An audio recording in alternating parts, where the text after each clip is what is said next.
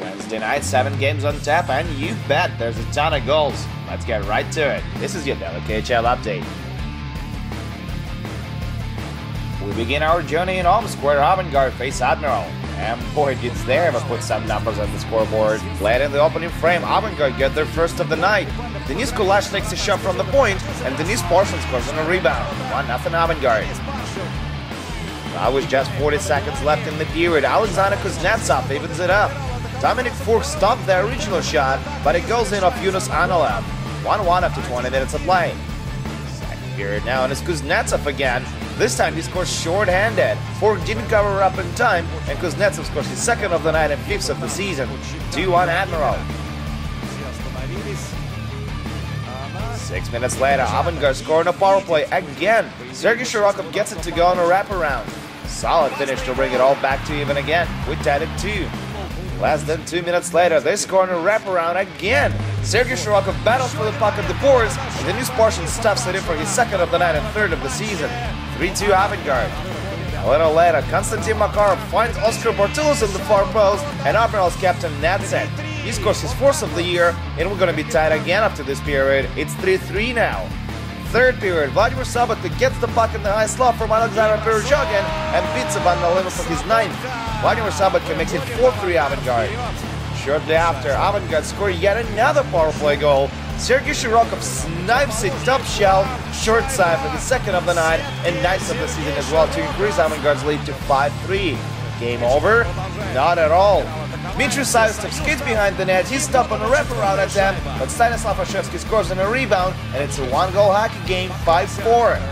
And just a few seconds later, Artyom Podshendyalov makes a great backhand pass to Konstantin Makarov, and he ties it up.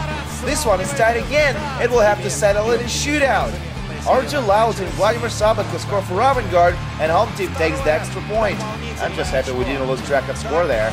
6-5 Avangard shootout final.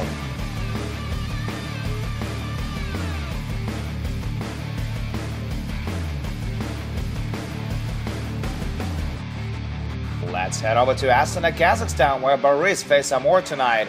Early in the first, Amur opened up the scoring. Alek Lee takes a quick shot from the right wing, and it goes in. Alek Lee scores his second of the season, and it's 1 0 Amur. Shortly after that, Barys on a power play. Brandon Bochenski has the puck in the office, feeds Nigel Dawes in front, and he evens it up. Nigel Dawes scores his 11th of the year, and it's 1 1. Late in the period, the Ushenins get the job done. Vladislav makes a pass, Vyacheslav scores a goal. That's his first of the year, and it's 2-1 Amur after 20 minutes of play. Moving on to the second period, Vitaly Atyushov can't keep the puck in the offensive end, Barys spring up for an off-man rush, and Konstantin Pushkarov brings it all back to even again as he nets his third of the season. Tie game, 2-2. But Amur still go on to win this one. Artem Zub lets a rip from the point halfway through the final frame, and he finds the back of the net. Zub nets his second of the year, and Amur take three points on the road after their two-game losing streak. 3-2 Amur is your final. We're in Helsinki, Finland now, where Jokerit take on Metallurg Magnitogorsk.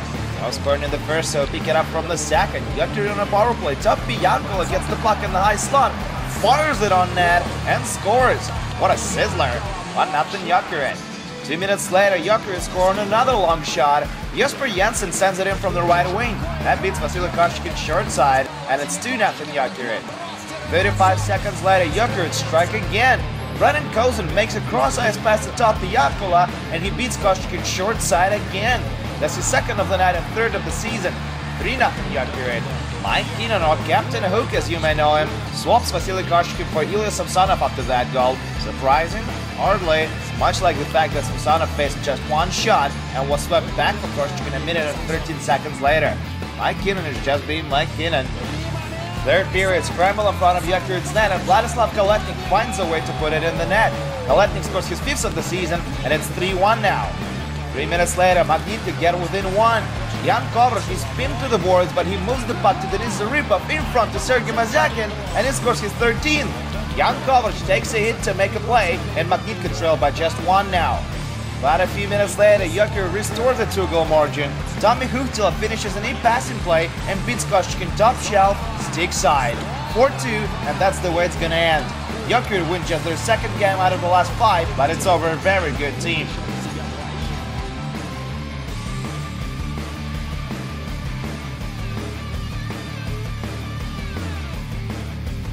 We're in Moscow now. Ilya Kovalchuk plays against his junior team as SKA St. Petersburg visits Spartak Moscow.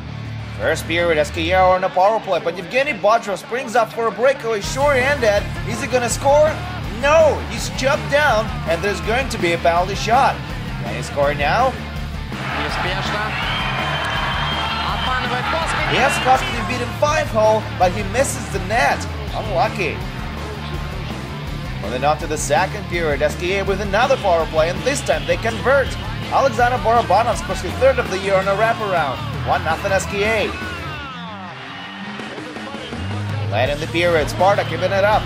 Konstantin Glazachev makes a great pass to Chay Genoway, and he sends it in for his fifth. Nice quick passing play by the red and white. 1-1 up to 40.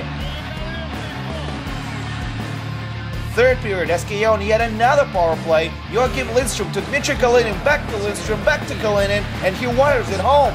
Dmitry Kalinin with a laser beam of a shot from the point, and it's 2-1 SKA. And exactly seven minutes later, they put it to bed. Jarno Koskiranta tips the puck in on Roman Rukavishnikov's shot, and that's game. SKA won a tough one. 3-1 is your final.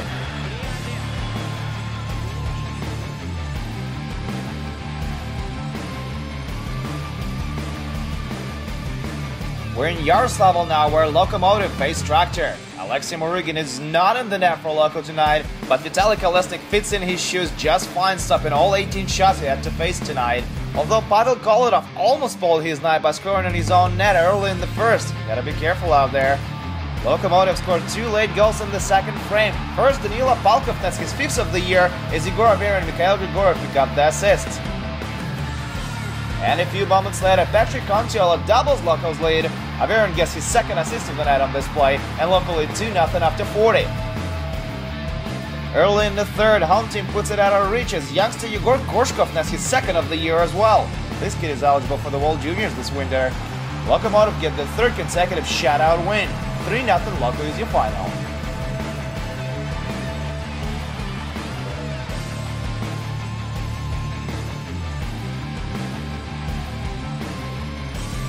Riga Latvia and tonight Dynamo face Salavat Yulaev. Just over two minutes into the first, Dynamo get on the board. Kasper Saulietis breaks into the zone, puts on a few nice moves, and scores a beauty. Awesome rush by Saulietis, and it's 1-0 Riga. A little later, Salavat score on a power play. Simon Lepisto takes a shot from the point, and Andres Engqvist spots it on a rebound. Simple and effective play, 1-1. A few minutes after that, Dynamo get a power play goal of their own. Steven Sego blasts it home from the point and gets his first career KHL goal. 2-1 Riga. Moving on to the second period, Mikelis Redlihs has the puck, storms through the neutral zone, he's got room for a shot, and he nets his seventh of the season. 3-1 Dynamo Riga now. And that's when Salavat turned the tables. Igor Grigorenko brings his team within one before the second intermission. Grigorenko nets his eighth and it's 3-2 after 40 minutes of play. Early in the last frame, Teemu Hartikainen throws it in the slot from the right wing. Dmitry Makarov tips it, and that's a goal. Salavat set up at three. Later, Dynamo with a chance to get their lead back. Sorry, we're close. Cesar's a must-have. With just a few minutes left in regulation, Salva scored two goals in less than a minute for the win. First, Andres Engqvist finishes a nice passing play and scores his second of the night to make it 4-3 Salavat. And just a few moments after that, Samuel Lepisto scores his fourth of the year on a power play to seal the deal. Salavat scored three unanswered goals in the third and take three points on the road. 5-3 Salavat July final.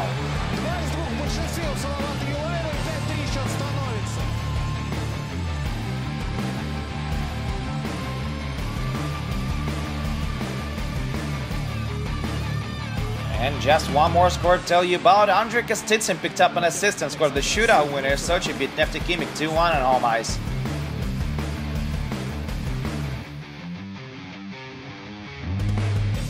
That's a wrap for tonight. We'll be back this Thursday with four more games, so make sure to tune in.